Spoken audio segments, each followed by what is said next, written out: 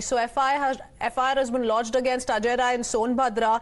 Uh, details coming to light suggest that the complaint was first filed by BJP Mahila Morcha. Now remember, parallelly, the Congress leaders also said that he will not apologize. The NCW has sent a notice to him, but the leader maintains that he did not use any unparliamentary language against Union Minister Smriti Irani.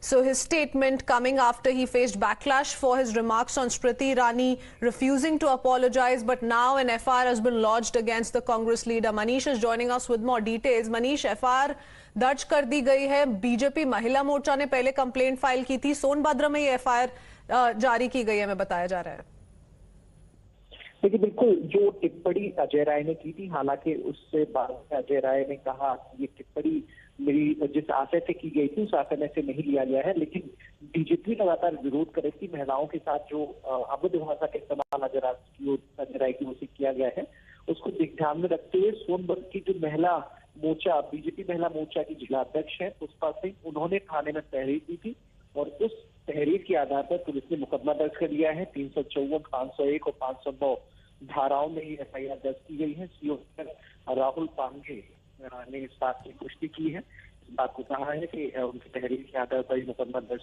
कर दिया गया है। अजय राय से इस समय पूछताछ भी की जाएगी। okay. अधिकारी नियुक्त होते ही इस मामले में अजय राय से पूछताछ करने पुलिस पहुंचेगी।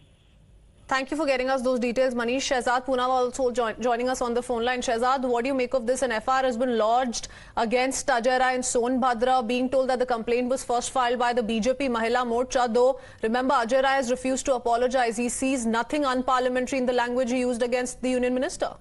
See, the legal action is one thing, but who has given demeans not just a union minister who's come up on her own strength, who's risen from the uh, very humble background to the top, but he is in fact demeaning all the women of this country, and this is nothing new. Congress has done the same thing to Draupadi Murmuji. You remember the Ra- Rashtrapatni comment, the evil mindset comment.